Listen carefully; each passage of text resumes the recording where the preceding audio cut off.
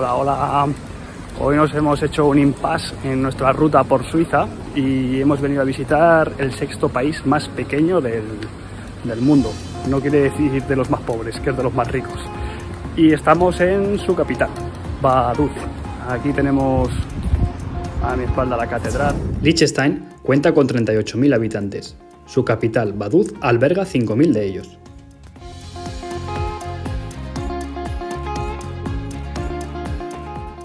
Su idioma es el alemán. Limita con Austria y Suiza en sus 24 kilómetros cuadrados de extensión.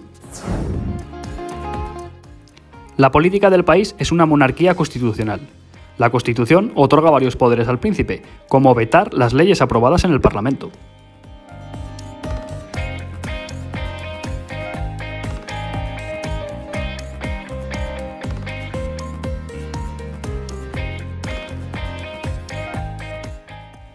Uno de los atractivos de la capital es su Museo Nacional. Aquí se repasa el pasado y presente del país.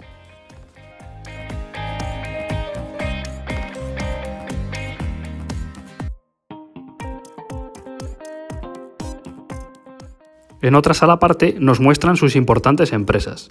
Entre ellas destacan Swarovski o Hilti.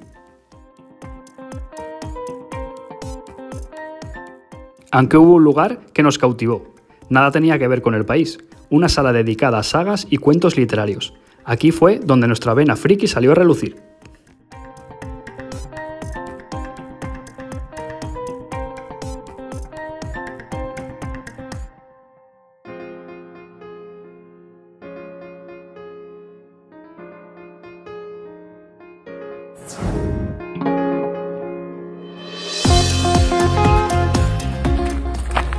Duda lo más bonito de la capital Vaduz es subir a lo alto del castillo, pero tenemos una larga caminata y subidita.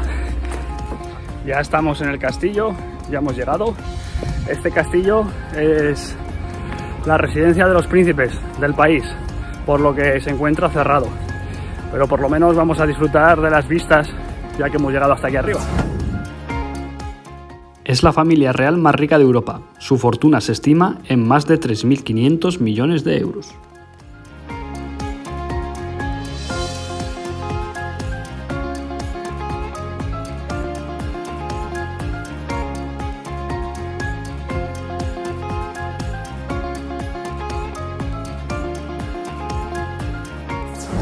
Hemos dejado atrás la capital de Liechtenstein, Vaduz, para subir a lo alto de las montañas hasta Malbun, que es el centro turístico de, del país, que, donde la gente realiza un montón de, de rutas senderistas. Y también contamos aquí con la estación de esquí, que es la única que hay en el país, pero ahora mismo está operativa, está gente subiendo para hacer rutas senderistas. Y aunque el día no nos acompaña otra vez, pues bueno, las, las vistas desde aquí son muy chulas.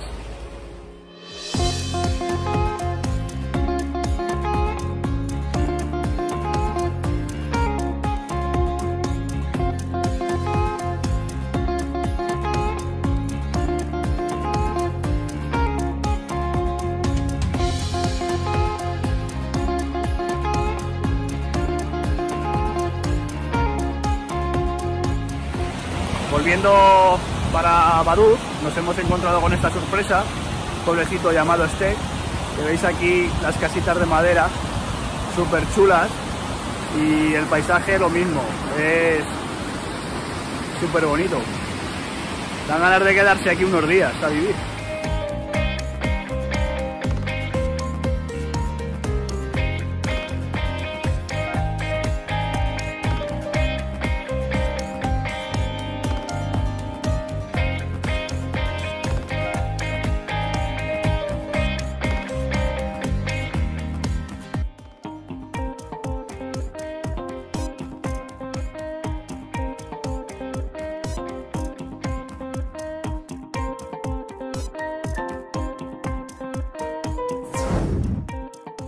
La siguiente parada sería la localidad de Treisenberg.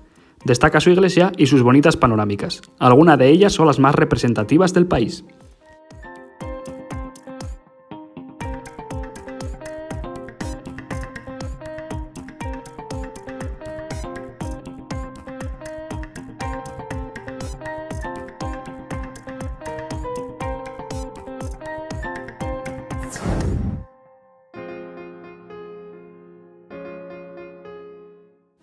Y acabamos la visita en Balsers, un lugar de postal comandado con su castillo en lo alto.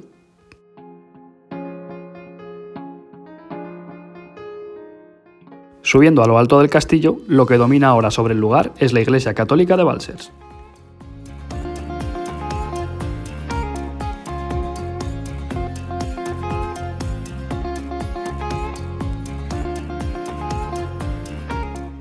Y esta fue nuestra visita a Liechtenstein.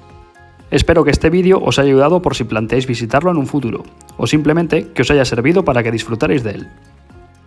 Nos vemos en el siguiente viaje.